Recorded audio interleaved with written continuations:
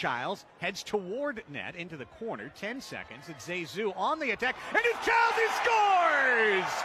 And open the account for Zé Roberto. He gets the assist on the Wallascora. Soccer's magic, yes indeed. A goal at 14:51 to make it one 0 Just the same. Oh, Here's Ramos. Oh, kind of scuffed his shot there, Craig. And Not there is on the spot, just as we talk about it, Corey Keitz from close range. And it's 2 all from 2 0 down. Tacoma have fought